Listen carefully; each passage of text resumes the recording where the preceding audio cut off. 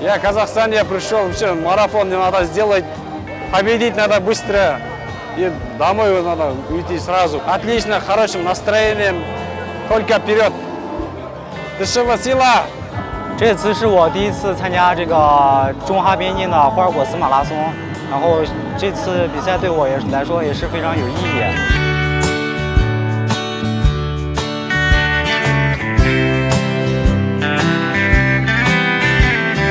И это очень радует. Почему? Потому что благодаря таким мероприятиям э, дружеские отношения между двумя государствами укрепляются. Это развивает массовый спорт.